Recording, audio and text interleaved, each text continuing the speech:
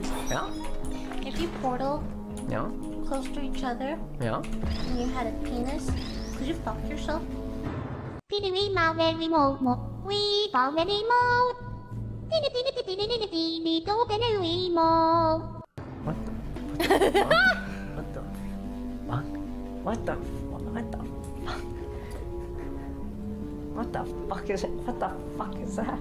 Well, it's technically not because while you're okay, the portal would have to be essentially like literally right next to each other, and also it you would have to be thrusting, and that means the other the other portal is gonna like it would all it'd be like this. You'd go like this. So technically no i feel like it'd be quite impossible because when you're pushing the other side of you is pulling so i just feel like physically